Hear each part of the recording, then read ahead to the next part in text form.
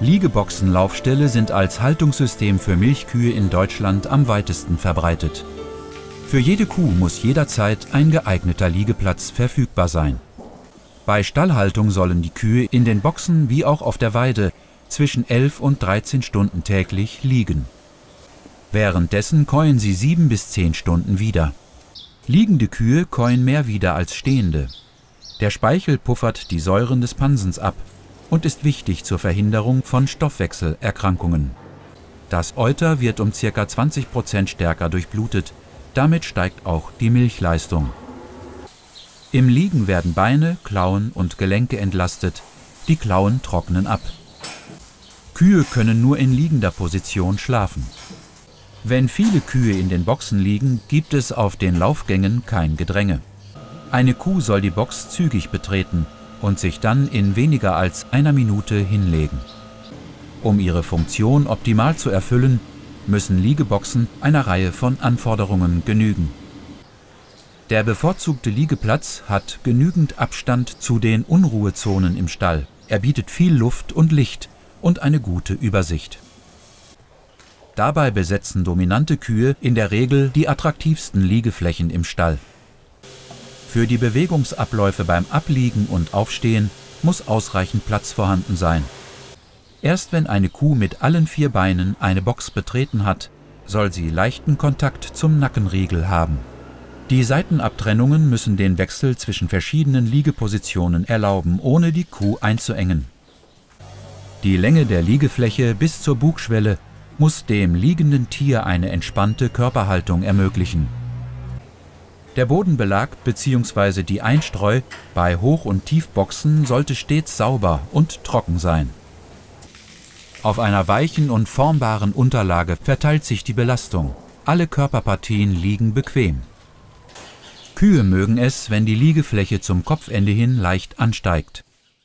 Bei abgerundeten oder elastischen Bugschwellen können die Kühe ihre Vorderbeine auch nach vorne ausstrecken. Für den Kopfschwung beim Aufstehen braucht die Kuh etwa einen Meter Platz vor den Vorderfußwurzelgelenken.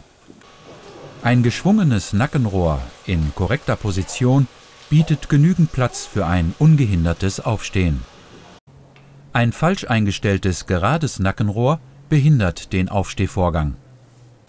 Dieser Zwei-Flächenstall mit Tiefstreu vereint viele Vorteile hinsichtlich Bewegungsfreiheit und Komfort.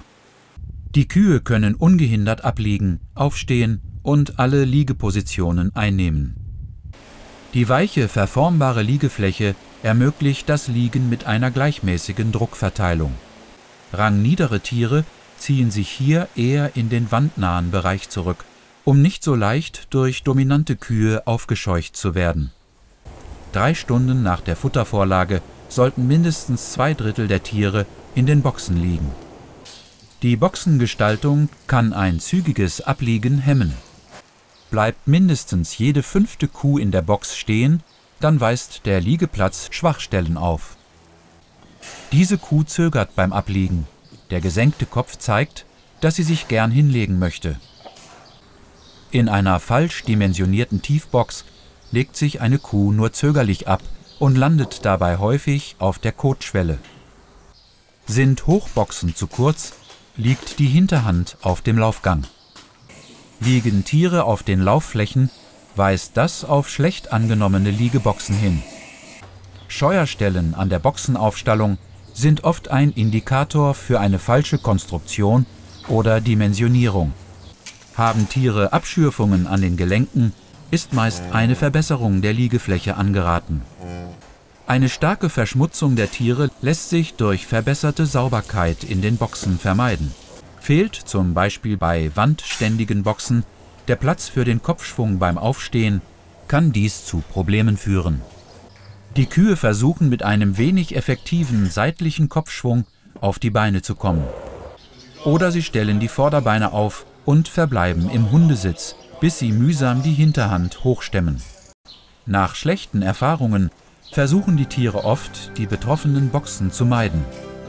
Es lohnt sich sehr, auf mögliche Missstände im Liegebereich zu achten, da Verbesserungen in der Regel zu besserem Wohlbefinden und erhöhten Leistungen der Tiere führen.